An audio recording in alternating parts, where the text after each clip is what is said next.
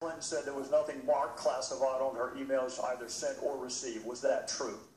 That's not true. There were a small number of portion markings on, I think, three of the documents. Secretary Clinton said I did not email any classified material to anyone on my email. There is no classified material. Was that true? Uh, there was classified material emailed. Secretary Clinton said she used just one device. Was that true? She used multiple devices during the four years uh, of her term as Secretary of State. Secretary Clinton said all work-related emails were returned to the State Department. Was that true? No, we found work-related emails, thousands, that were not re-